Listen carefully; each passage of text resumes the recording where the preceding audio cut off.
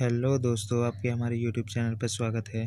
Friends, आज हम लोग इंटरनेशनल मदर लैंग्वेज डे जो कि ट्वेंटी फ़र्स्ट फेबररी को बनाया जाता है। आज हम लोग उसके बारे में डिस्कशन करेंगे, फ्रेंड्स। तो आइए चलिए, हम अपना वीडियो स्टार्ट करते हैं, बिना किसी टाइम को वेस्ट किए हुए, फ्रेंड्स।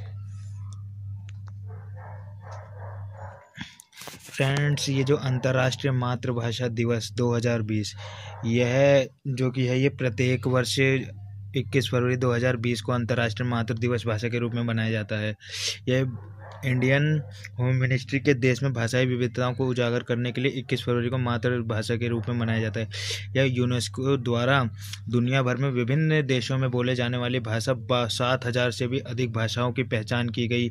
इसी बहुभाषावादी को मानने के लिए 21 फरवरी का दिन चुना गया, ताकि सभी लोग अपनी भाषा, अंतर्राष्ट्रीय भाषा दिवस को आप लोग सभी लोग पढ़ सकें।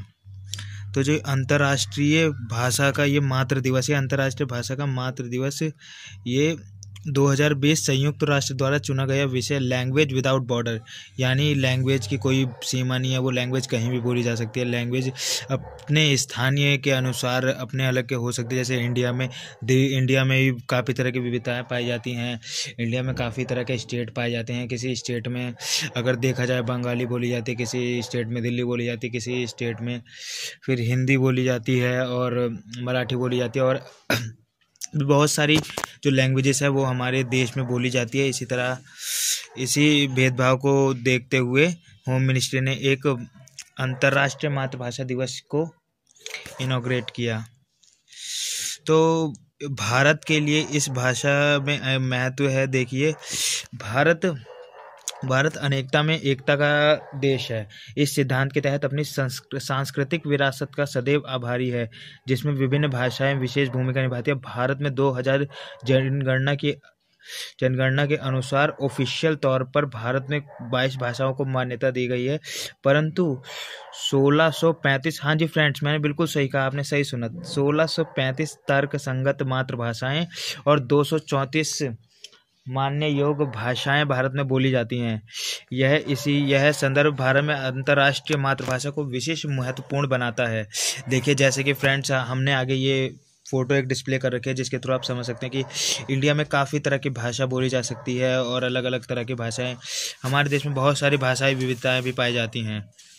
तो फ्रेंड्स, जनगणना के अनुसार, अभी जो संसद के 2001 की जनगणना के अनुसार तिरालीस करोड़ हिंदी बोलने वाले लोगों में से 12 परसेंटेज लोग द्विभाषीय यानी उन्हें हिंदी के अलावा भी बहुत सारी भाषाएँ आती हैं।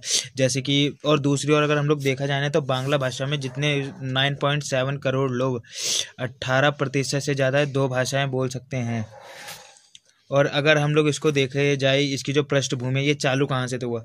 यह दिवस को बनाए जाने के पीछे बांग्लादेश में एक बहुत ऐतिहासिक घटना मानी जाती है। ढाका में हुए एक ऐतिहासिक भाषाई आंदोलन का श्रेय दिया जाता है, क्योंकि ढाका यूनिवर्सिटी के विद्यार्थियों और सामाजिक कार्यकर्ताओं ने इक्कीस फरवरी उन्नीस सौ बावन में तत्कालीन तत्कालीन पाकिस्तान सरकार की भाषाई नीति का विरोध करते हुए बड़े स्तर पर विरोध किया था। प्रदर्शनकारियों ने सुनने की बजाय पाकिस्तान ने उन पर गोलियाँ बरसा दी थी। जैसे कि आप देख सकते हैं, इस फ़ोटो में डिस्प्ले की गई है और